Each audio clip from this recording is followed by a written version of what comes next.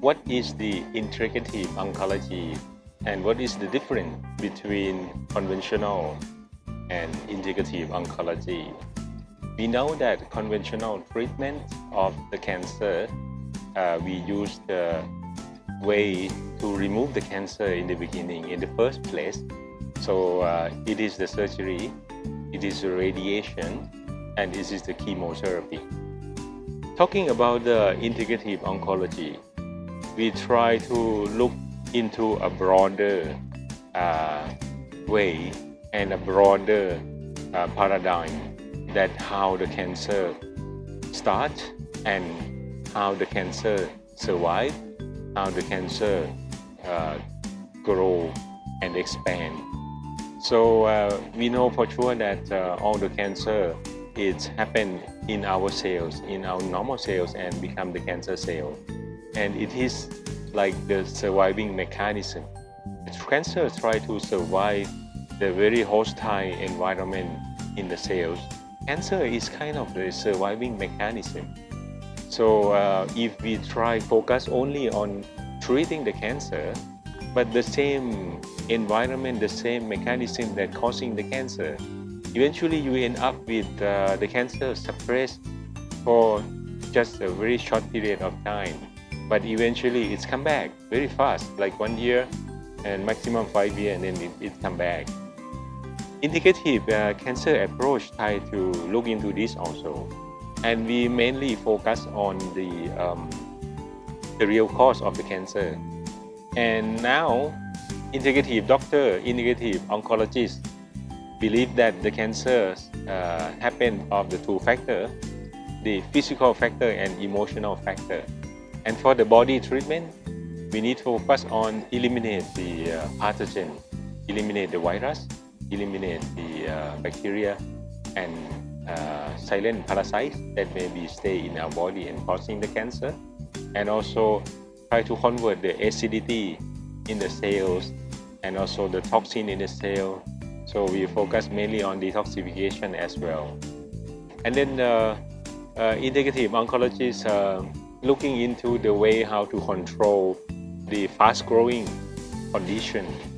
And mostly of the fast-growing condition, this is because they are lacking of energy. So they uh, try to expand more to get the energy, try to evade the normal cell, to get the nitrogen supply, to get the energy supply, and steal, steal every uh, energy possible and also suppress the immune system.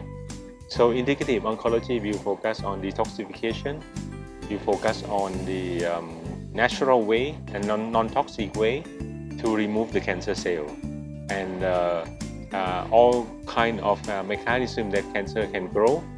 We try to inhibit those mechanisms.